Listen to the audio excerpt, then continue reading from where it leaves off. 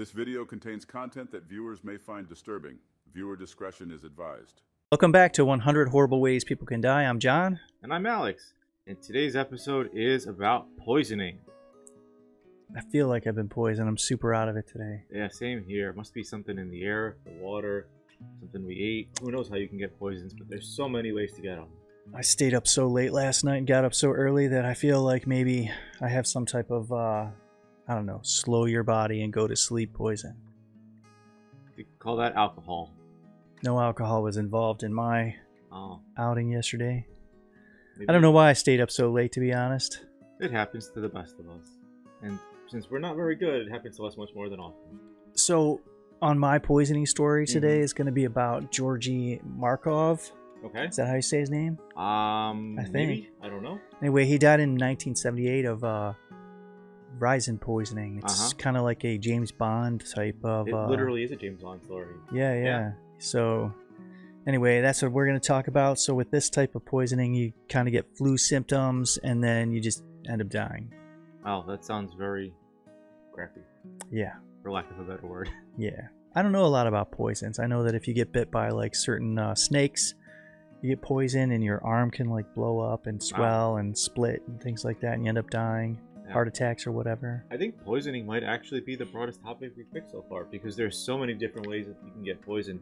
Whether it's a compound, an element, a gas, a solid, a liquid, all these different, and they all have different symptoms. Well, they all have different biological effects. think I'm think about this.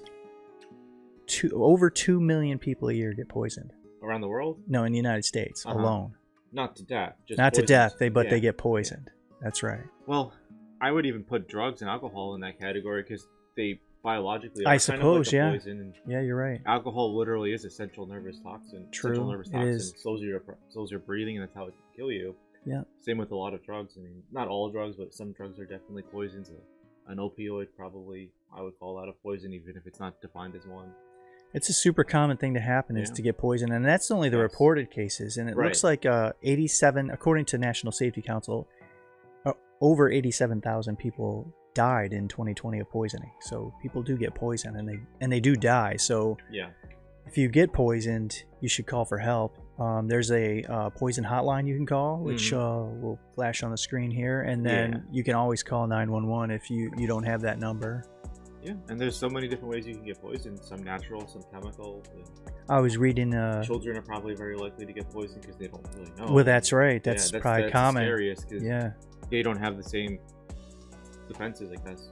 Their livers probably can't process those toxins as fast, so they probably are more susceptible to it. Right. When I was kind of researching this, I found a couple of articles where people were poisoned by antifreeze by their like wives, Oh, and they put in their iced tea, and they didn't even know they were drinking antifreeze, and then eventually they uh, they died of antifreeze, uh, being poisoned by antifreeze. And I guess um, is it because of the ethan, the methanol in the I. I don't really know. I know that some, you know, your kidneys and stuff shut down and stuff, and you just die. And then Yeah. the one case, uh, they didn't even realize that the guy had died of like poisoning. They thought he just died of natural natural causes because it was so s- slow and it shut down organs.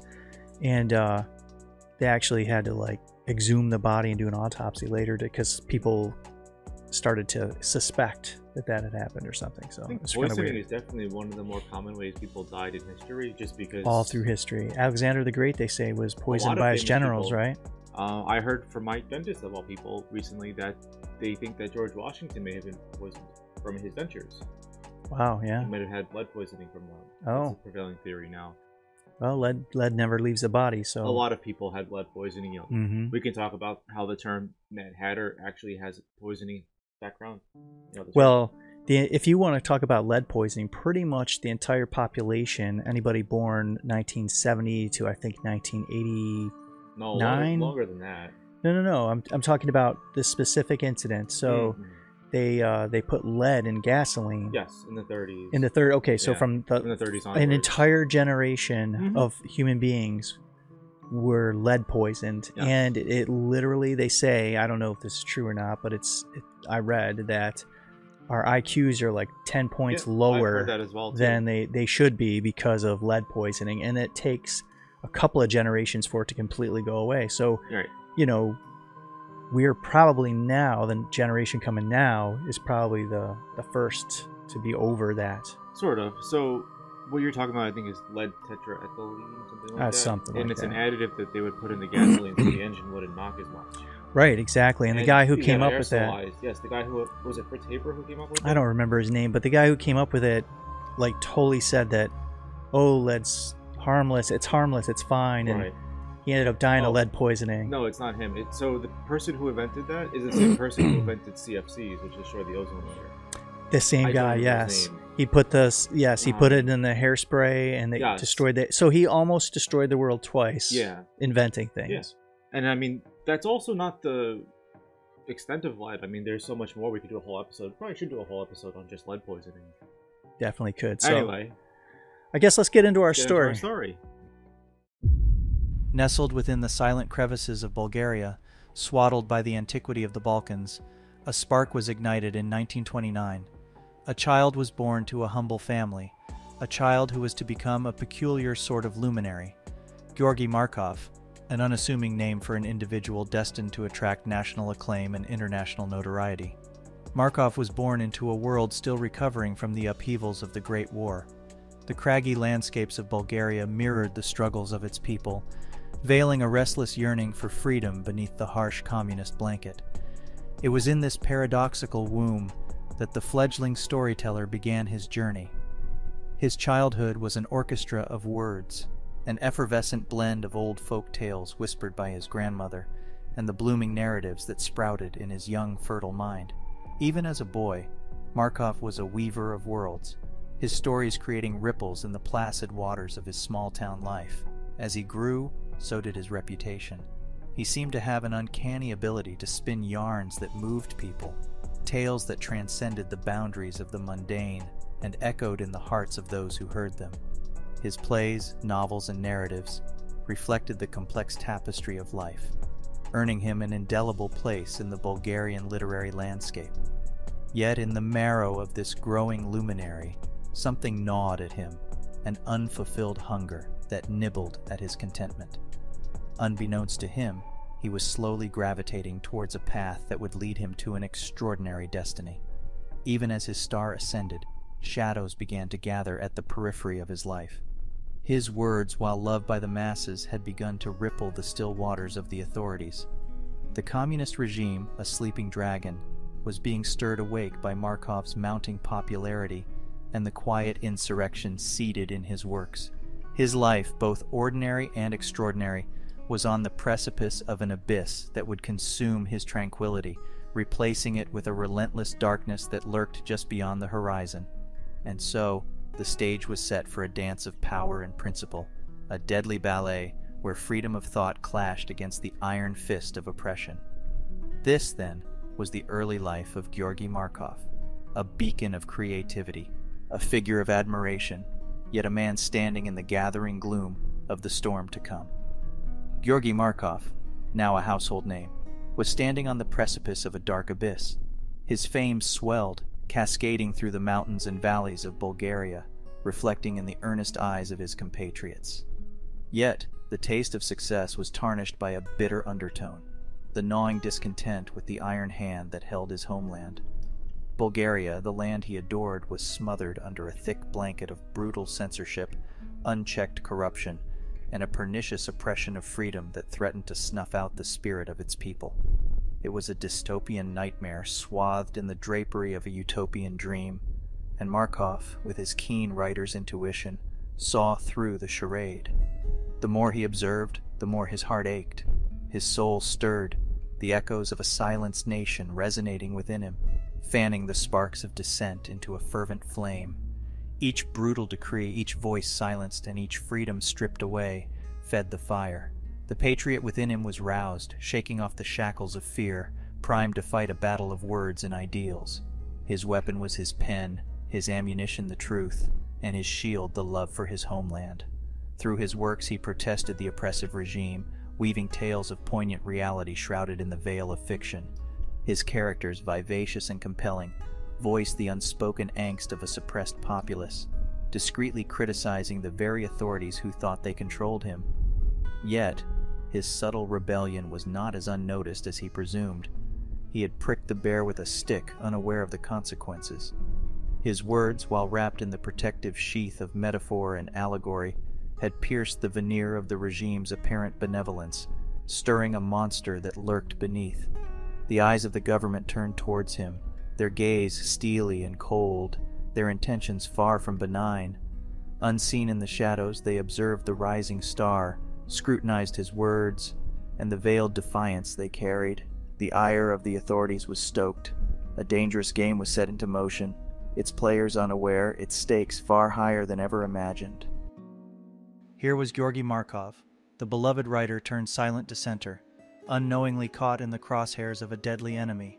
His path had veered from the well trodden trail of fame to the obscure lanes of defiance, heading towards a future veiled in uncertainty and danger. The unyielding tension within the borders of Bulgaria in 1969 was like a vice on the skull of Georgi Markov. Each day, each hour, an intensifying squeeze, the snaking dread a constant companion in his vein riddled temples. Fear was a harsh taskmaster, and it had tightened its reins around him, forcing the once celebrated author towards a fateful, daring decision.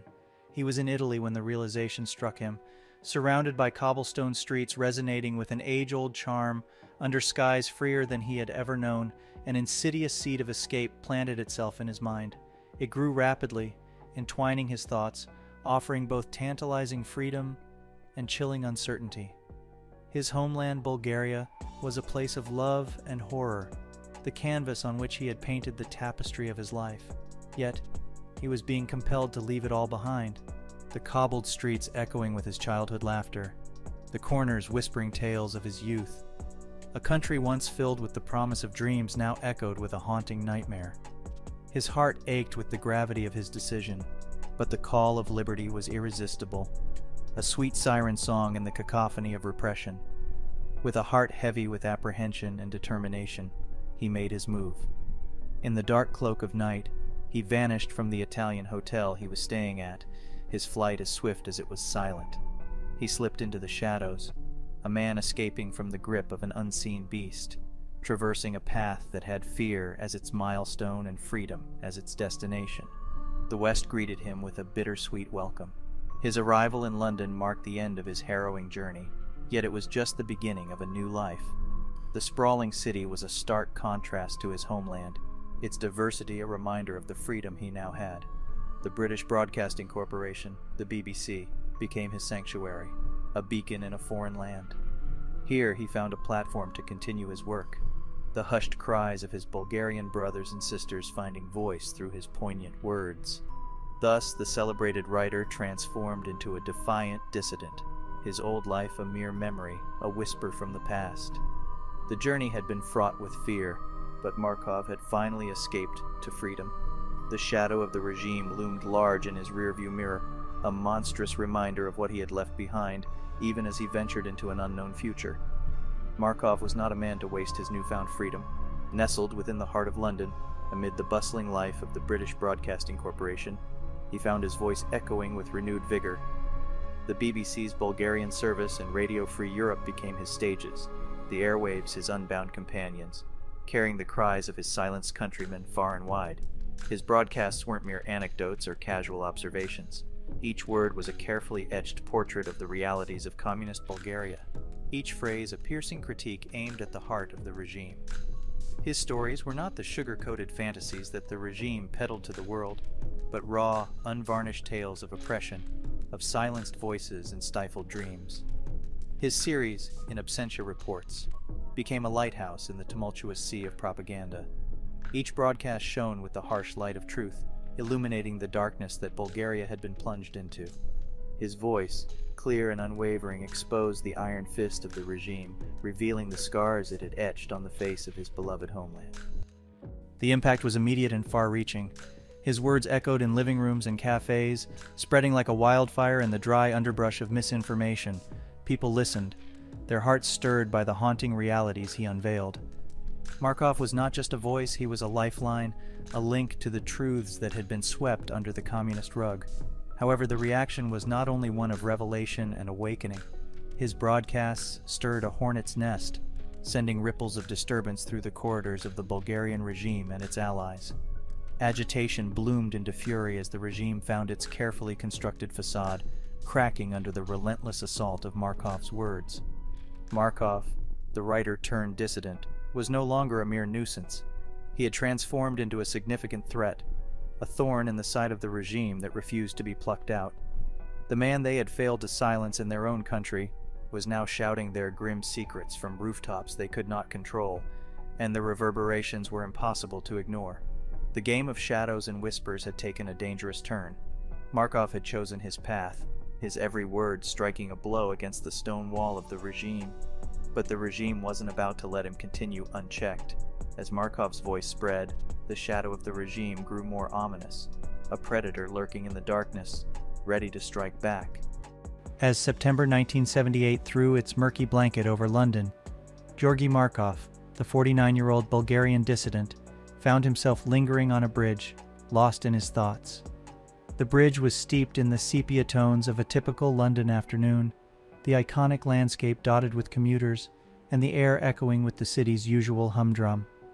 Unbeknownst to him, in this innocent tableau, danger lurked, cloaked in the dreary ordinary. Markov was oblivious to the prying eyes scrutinizing him from a distance. As he awaited his bus, his thoughts on the BBC broadcast he had planned for the day, he was entirely unaware of the chilling countdown that had begun. A macabre clock, ticking down the four days he had left to live, had been set in motion. In the throng of London's denizens, a seemingly inconspicuous figure held an object that was as ordinary as it was lethal an umbrella. To any onlooker, it was just an umbrella, a mundane shield against London's frequent showers. However, this was an instrument of death masquerading as a token of British weather preparedness. The sudden sharp sting on the back of Markov's thigh pulled him out of his reverie. He spun around, surprise etched on his face, only to see a figure retrieving an umbrella from the ground. The figure murmured an apology, the syllables rolling off his tongue with a distinct foreign accent. There was a certain haste in his movements, an urgency that belied the simplicity of the situation. Before Markov could shake off his surprise, the stranger had already crossed the expanse of Waterloo Bridge. Like a wisp of smoke, he vanished into the anonymity of a waiting taxi and disappeared, leaving behind an air of discomfort and a dying Bulgarian dissident. As the man disappeared, Markov could not shake off a sudden, chilling sense of dread. But the city moved on, oblivious to the deadly ballet that had just taken place. The bridge bore silent witness to the transaction, a grim secret etched into its very stones. In the grand narrative of his life, this chapter had begun, a chapter where his name was etched, not with ink, but with the lethal poison of a ricin pellet, delivered by the innocuous sting of an umbrella. The days that followed carried a weight of foreboding, a heavy shroud that draped around the form of Georgi Markov. His body, once a resilient fortress, started succumbing to an invisible assault. His once vibrant eyes were clouded with pain, his robust form racked with a fever that refused to abate. Every breath was a battle, each heartbeat a defiant protest against the insidious poison that had invaded his body. His vibrant spirit was held hostage in a body that was gradually failing him. A cruel enemy was laying siege from within, an enemy unseen but felt with every pulse, every labored breath. London's best physicians gathered around his bedside, their brows furrowed with concern, their minds a whirlwind of questions. Despite their tireless efforts, their advanced equipment, their collective wisdom, they found themselves in a battle they seemed destined to lose. The enemy was elusive, the damage extensive, and relentless. Markov was slipping away, his life symphony reaching its final, tragic crescendo. The stranger with the umbrella had evaporated into thin air, his existence as ephemeral as the London fog. All that remained was the chilling aftermath of his actions, a deadly residue that clung to Markov's life. His trail was lost in the labyrinthine city, leaving behind a cryptic puzzle that perplexed even the most brilliant minds. The specter of the Cold War had shown its merciless face, its consequences no longer confined to shadowy boardrooms and political chess games. In the shroud of his death, Georgi Markov became a symbol of a battle far larger than himself. His life, a testament to the indomitable spirit of a man who dared to speak against oppression, ended not with a whimper, but with a defiant roar echoing in the silent corridors of the BBC. and the collective consciousness of a world waking up to the ruthless reality of the Cold War. Markov was no more, but his voice lived on, reverberating through the annals of history, a poignant reminder of a man who dared to reveal the truth. As the decades rolled on, the world changed in countless ways. Empires crumbled, walls fell, and new eras were born. Yet, some remnants of the past remained stubbornly immune to the passage of time. One such enduring mystery was the assassination of Georgi Markov. The echoes of that fateful September day in 1978 continued to resonate, the memory of Markov's tragic end etched indelibly into the annals of history. His assassination stood as one of the Cold War's most chilling chapters, a stark reminder of the ruthlessness that simmered beneath the veneer of diplomacy and political maneuvering. The umbrella murderer, as he came to be known, faded into the mists of time, leaving behind a void that no intensive investigation could fill. The elusive stranger on Waterloo Bridge, despite the relentless pursuit of countless detectives and years of poring over cold case files, remained a phantom. His identity, like the final piece of a jigsaw puzzle, continued to elude capture, contributing to the aura of intrigue that shrouded Markov's final moments. The mystery of Georgi Markov's end remains, a cryptic chapter in the sprawling saga of human history. Well, that guy uh, Yeah. suffered pretty bad, huh? Yeah, His whole life was seemed like he was, I don't know, pretty Why- terrible. I'm happy I'm not a spy. Or born into a communist country, I guess. Well, sort of. I mean, anyway. sort of. Well, my parents were. Yeah, they escaped, thank goodness. Yeah. So, what should we do next? Let's talk about some other types of poisoning. Sure. I feel like it's such a vast topic. We need to talk a little bit more about what we can do, and let's get some feedback from the audience and see what you want to hear about in a future episode. What do you think is the, I don't want to say sexiest, but the sexiest way of being killed by poison, Or whatever you'd like to send us is Yeah. fine. or whatever you'd like to send us. Yeah. Um, I personally like how we were talking about lead. I think lead is fascinating. I like the stories behind some of the other elements too. Mercury, for example. There's a ton of interesting stories about mercury poisoning over the years, and there's a lot of history with it too. There's a lot of history with, for example, with plutonium. I'm reading a book now just about the history of plutonium. And how it was used for being for poisoning people or Yes, radioactive elements. Was there something recent that happened where somebody was given like a Yes. radio radioactive pellet or But something at a restaurant? plutonium. That was polonium. Oh, okay. Yeah, so kind of similar to our story that we just heard. Um, a Russian dissident, I don't remember, Alexander, something like that, Lipchenko, something like that, walking down the street, and also I think it was an umbrella, stabs the guy in the leg, and inside is a pellet of polonium. Now, polonium is pretty rare. There's only a few ways to get it, and usually you have to go through a hospital or a nuclear facility to get it. Probably it. pretty easy to trace back to its So it's origin. pretty easy to, ch- to trace back to where it came from, that it was somewhere not legitimate, because every supposedly every Western hospital or facility that has polonium, because it is so toxic and so dangerous, keeps a very tight inventory on it. Gotcha. But just a couple of grams should be enough to kill a person.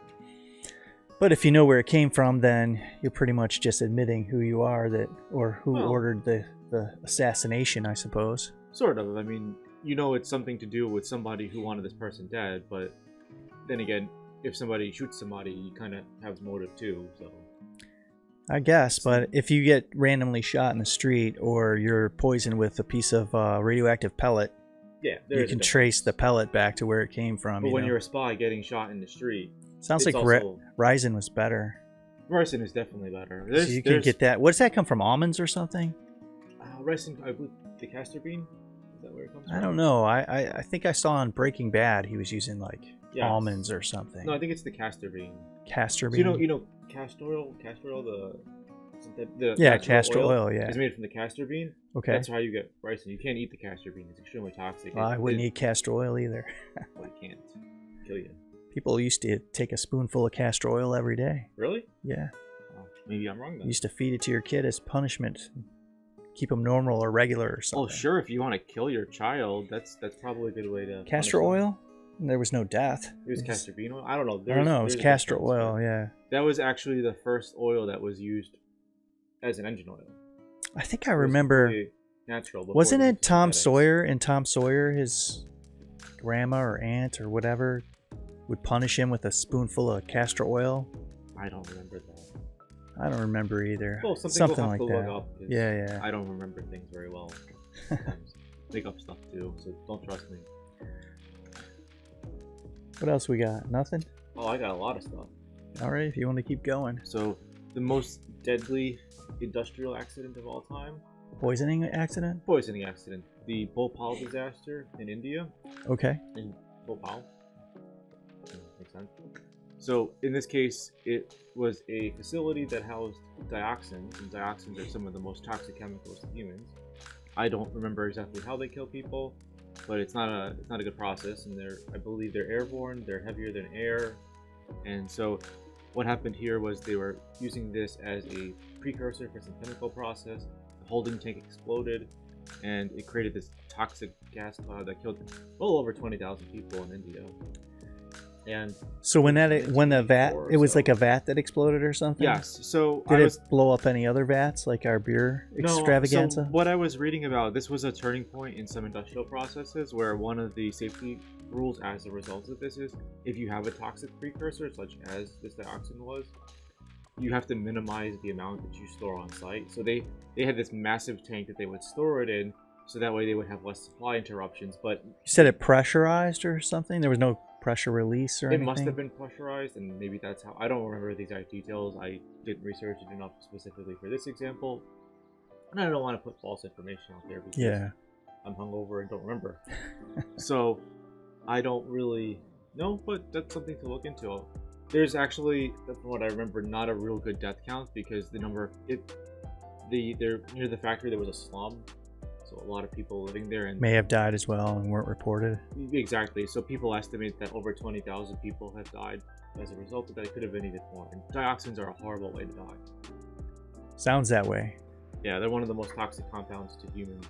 So, you have your radiation, which most people probably won't be exposed to radiation much in their lifetime unless they're doing something really, really unsafe, working in a specific facility, or if there's a nuclear war or something. Yeah, I didn't really look up the most common poisoning. Oh, uh, it has to be drugs honest. by far.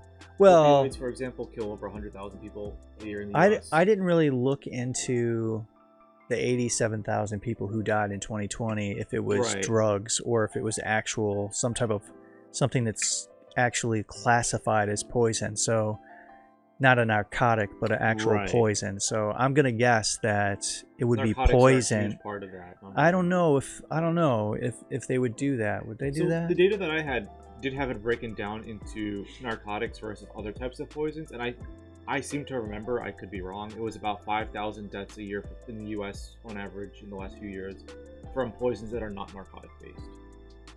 There's also a section in the codes where there's poison undetermined type because there's not really a way to know what poison it was, for example yeah.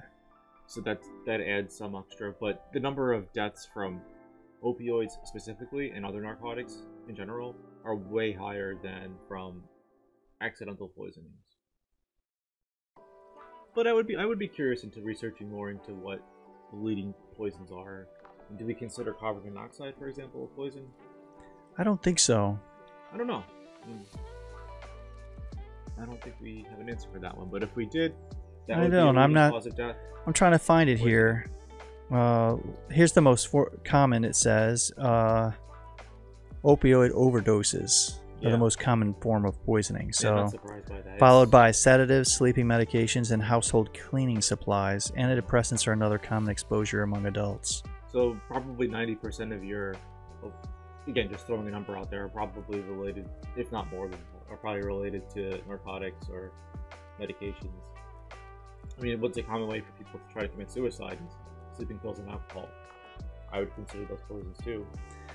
Yeah, I was more interested in just actual poisons, not really something considered a You- you're talking about narcotic. A ricin, Yeah, like actual poisons, not narcotics. nerve gas, or something. Yeah, like yeah. mustard gas. Yeah, exactly. Phosphine or whatever. Those are not very common. It looks like they lump drug poisoning or drug overdoses in with poisoning yeah, with every single stat here that I'm looking at. So Right. and I unfortunately, I can't get an actual. They're even putting alcohol into right. Uh, the poisoning category, which I understand why they do that because I mean you are poisoning Maybe yourself. It's a good ChatGPT question. Yeah, I don't think so. Okay, guess not. Chappy GPT will just Say throw out yeah, yeah, throw out the same stuff. that's true. I I mean, it says there's four types of poisoning: swallow, swallowed, inhaled, absorbed, or injected. Okay, So that that's drugs. Yeah, every drug. I mean, all the drugs are in there. So I mean, when we talk about poisonings, there's things that will poison you over time and maybe cause cancer or other issues, degenerative brain failure, or something like that, but aren't actually killing you, right? So, slowly, I the guess. story of the Mad Hatter, right? The term Mad Hatter comes from hat workers who would work with felt and they would dip their brushes into liquid mercury, wipe it on their mouths, and then they would get degenerative brain loss from that.